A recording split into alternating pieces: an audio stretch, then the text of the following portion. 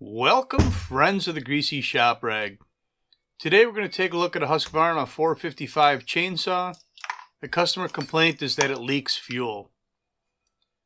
Well, this thing's been sitting on the incoming repair shelf for a while, and there was no fuel underneath it. So we're going to look into the tank here and see if there's any clues as to why it might be leaking fuel. So it looks pretty normal in there at first, but we do find that it has uh, aftermarket fuel filter on it. Not that that's a problem or a contributing factor. It's just a clue that someone's been working on this themselves, or they took it somewhere else for service, because that isn't a filter we would have put on there. But there's your problem right there. Well, that ain't no good. We got a big wet spot on a bench. So it does leak fuel. But it only leaks fuel when it's on its side, not when it's sitting up like it is now. So we're going to pop the hood and take a look underneath. See if there's anything to see. Initially, can't really see much with that air filter on there. And then I start thinking, well, you know, it doesn't matter where it's leaking. If it's got a scored cylinder, we're not going to fix the leak anyway. So let's look inside. So that that cylinder looks really nice. It's clean in there. Like this thing doesn't have a lot of runtime. But I think it had the wrong spark plug in it, so we swapped in the right plug. Now let's get back to our fuel leak.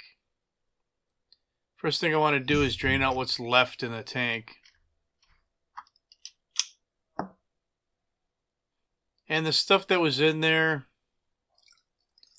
I mean, it wasn't, it probably wasn't a running issue problem. Uh, because if that stuff stunk really bad, I would be changing out that greasy shop rag on my bench right now. So we want to fish the fuel line out of the tank, remove the filter, and put our pressure pump on that line. We're going to put 10 pounds of pressure on here and see if that fuel line is leaking. So you can see I'm wiggling the line around and that's just in case there's any cracks in the line that, you know, we're exposing them. But it held 10 pounds of pressure. Our leak has nothing to do with the fuel line. At least the one that the filter is on. And you can see we put a original equipment Husqvarna fuel filter on there. So now let's take a look at the fuel return line. It goes from the purge bulb back down into the tank. And in fact, that line is broken at the top of the tank. So when we laid it on its side, all the fuel just ran out that return hole. The little piece that's stuck in the tank, that part of hose. Uh, I can't quite pull it out of there. So we just pushed it back down into the tank. Get it out of our way. There's the line we want to replace, and here's the new line. So I'm just going to route the line underneath the intake boot. And it takes a little bit of fumbling around, but it can be done. Now we'll put the line on the purge bulb and this return line goes on the long stem of the purge bulb. Cutting a taper on the end of the fuel line and then we'll push it down through the hole in the tank.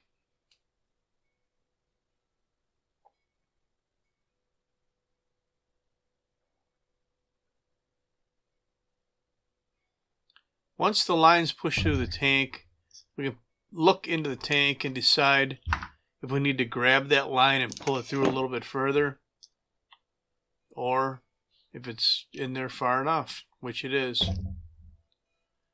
The other thing we could have done while we were right there was grab that old piece of fuel line that I pushed into the tank. So now we're trimming the line to length and then we'll push it onto the purge bulb.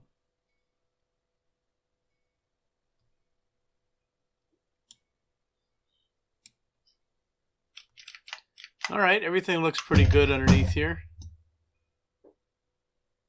We'll put some fuel back in it and see if it leaks.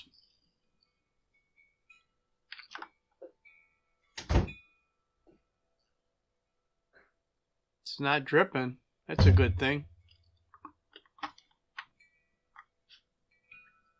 Let's fire this thing up and see how it runs. Yeah, it's priming up nice.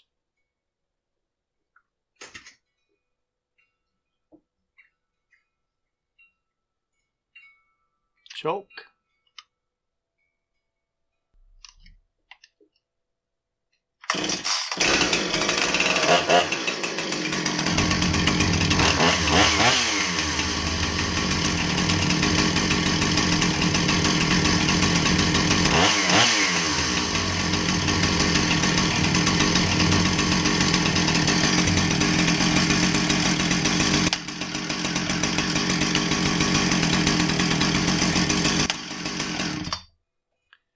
Okay, so it ran.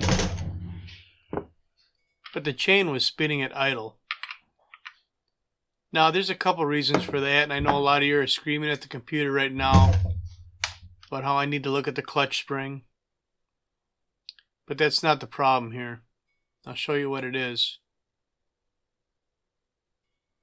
First thing we got to do is remove the clutch for inspection. I set the stop switch. I'm going to put an impact on here and buzz the clutch off.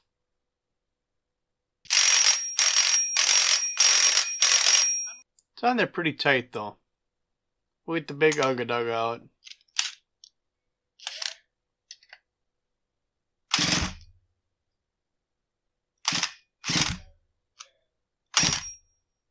So the big one's not working and it doesn't feel like it's hammering.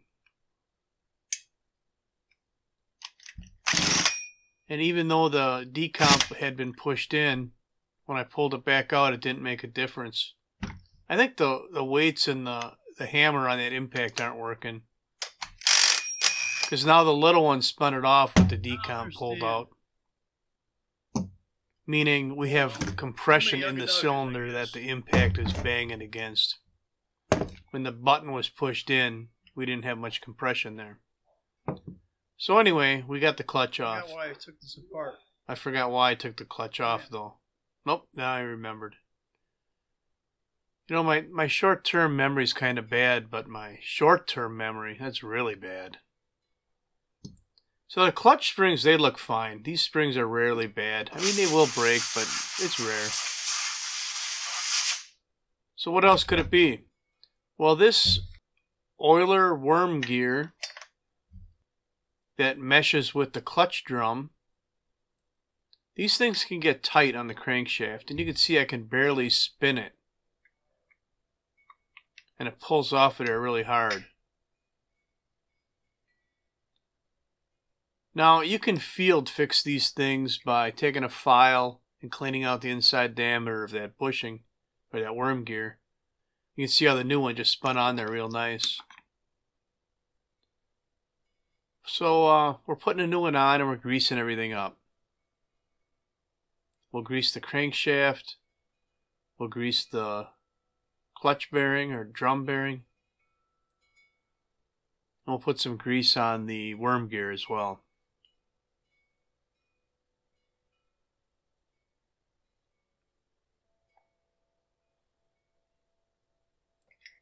That thing spins on there really nice. So what happens was when the crank is turning, and if that worm gear is binding on there, it's also turning the worm gear. And if it's turning the worm gear that's meshed into the clutch drum, well then you're turning the chain. And that's why the chain would spin at idle. Sometimes it's uh, and I didn't I gotta go back and look at the video and see if the chain was turning while I was pulling the cord. But sometimes it can make it really hard to start too, just because you're trying to turn the chain while you're pulling the cord. So we'll buzz the clutch back on. Hold a little bit of rope out so when it binds, you see it, the shock was taken up by my hand and not by the cord and the starter pulley. So that looks a lot better. The chain is, uh, or the drum spins free on there. So before we put the bar on, you'll notice we're cleaning the rails and I'm blowing all the debris away from the nose sprocket. We don't need to fill up that bearing with all the schmutz that's in the rail.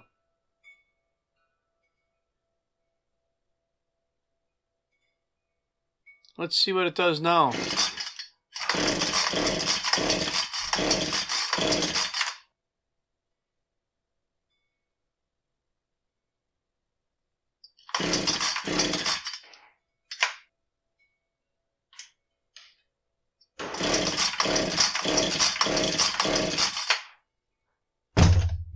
Doesn't do anything.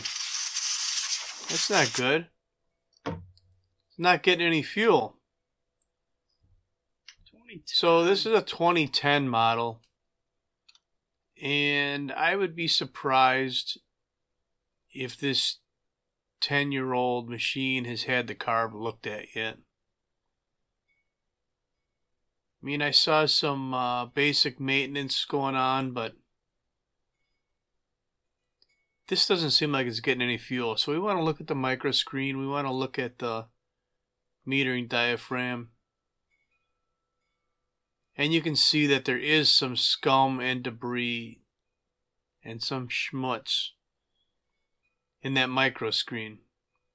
Although it looks like some fuel could still get past it.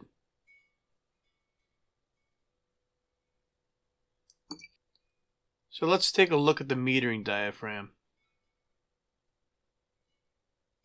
Yeah. It's pretty stiff. So a stiff metering diaphragm may not allow uh, the needle to open and let fuel in. So now that we've placed both those pieces, we're calling that a carb refresh. We'll uh, put it back together and see if it runs now.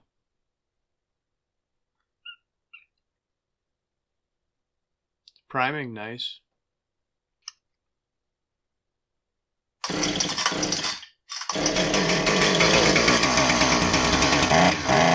Right. Well, that ain't gonna work. Brake sound like it's not. I got a new brake on it. Oh. What's the matter with it? What's the matter with it? I sucked up the f***ing shop rag. That's what's the matter with it. I looked right at the rag and thought, oh, better watch out for that. You got that on camera? Well, yeah, I guess I do. Yes! A blooper! A blooper! He sucked the rag right up into I always run it over this towel, and I thought one of these days I'm going to catch that damn towel. Well, it was bound to happen sooner or later. But luckily, that rag just comes right out of there.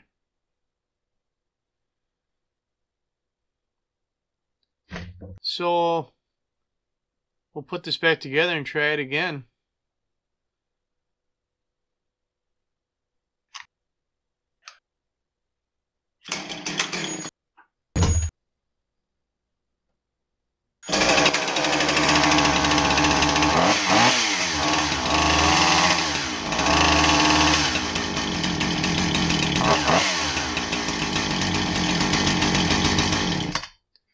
So the machine's going to need some more carburetor adjustments, but we got it to run. The chain's not turning at idle.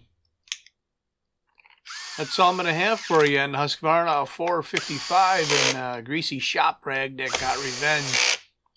Thanks for watching. Later.